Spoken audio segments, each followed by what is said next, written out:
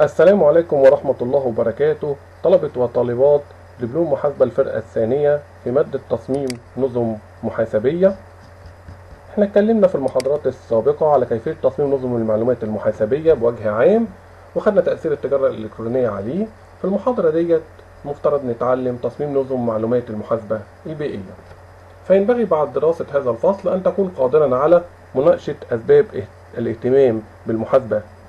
أسباب اهتمام المحاسبة بالبيئة تحديد مفهوم وخصائص نظام معلومات المحاسبة البيئية تحديد أهمية وأهداف نظام معلومات المحاسبة البيئية تحريف المفاهيم المستحدثة في إطار نظام معلومات المحاسبة البيئية شرح مقومات نظام معلومات المحاسبة البيئية شرح مقومات تطبيق نظام معلومات المحاسبة البيئية وكيفية التغلب عليها.